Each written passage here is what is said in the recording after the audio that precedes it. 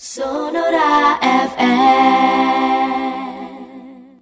Sosok komedian inisial M yang membeli video Dea OnlyFans akhirnya terungkap. Pihak kepolisian telah mengkonfirmasi terkait sosok M yang sempat jadi sorotan publik. Dilansir dari kompas.com, ternyata komedian inisial M yang memborong video Dea OnlyFans adalah Marcel Widianto.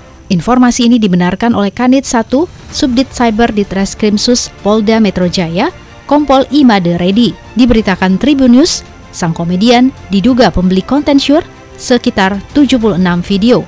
Video-video tersebut bahkan diborong Marcel Widianto secara langsung dari Dea OnlyFans. Sehingga ia mendapatkan video Shure Dea bukan lewat aplikasi OnlyFans. Sonora FM.